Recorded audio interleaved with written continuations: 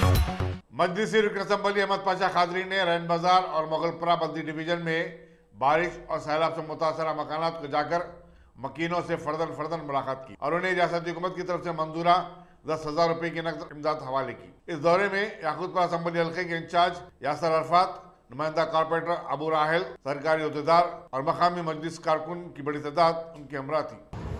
Yakutpura assembly हल्के में आज नकब मिलत असुद्दीन वैसी साहब सदर मजलिस उनके पार्लियामेंट की हिदायत पर बारिश से मुतासर इलाकों में तेलंगाना हुकूमत की तरफ़ से जारी करदा दस हज़ार फीकस के रुकूमात आवाम के हवाले किए।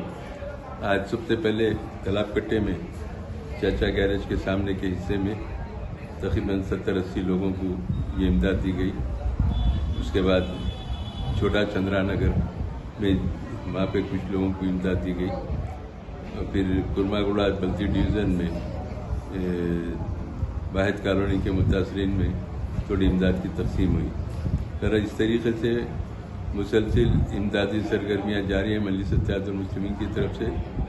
आज से याकुतपुरा असम्बली हल्के के दीगर मुतद इलाकों में भी दौरे करके साफ़ सफ़ाई के इंतज़ाम का भी जायजा लिया गया।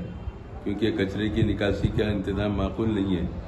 और इस सिलसिले में डिप्टी कमिश्नर म्यूनसिपल कॉरपोरेशन को तोज्जो दिला क्योंकि एक दिन के बाद ईद मिलादुलनबी अलैहि वसल्लम है।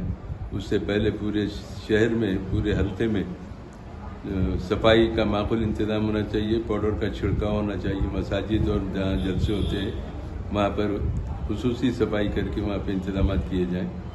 और आज तकरीबन ढाई सौ से जायद लोगों में ये इमदाद की तकसीम में लाई गई। और